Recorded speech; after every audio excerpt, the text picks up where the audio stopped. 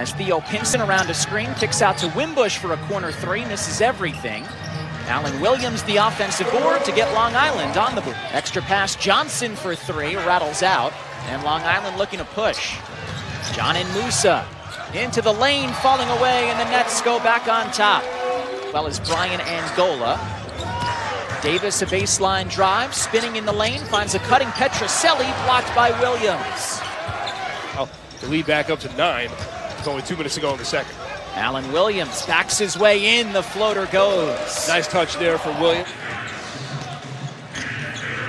Davis back the other way, swatted by Williams like a volleyball spike there. This quarter where he got hot, haven't heard much from him since. The lead is up to 12.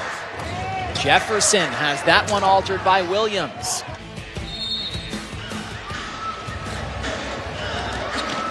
Williams, the spin move and lays it in. Pinson. Kick out for McLaughlin. Now Murphy a corner three. Misses everything, but right into the arms of Williams.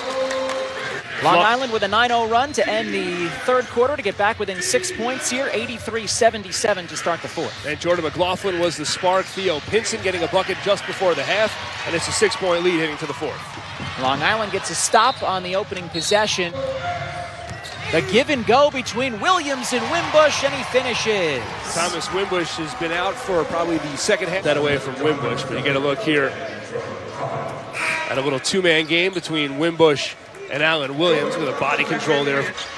McLaughlin, who was the catalyst for that late third quarter run, off for Williams. The lefty floater goes. And no surprise, McLaughlin and Wimbush.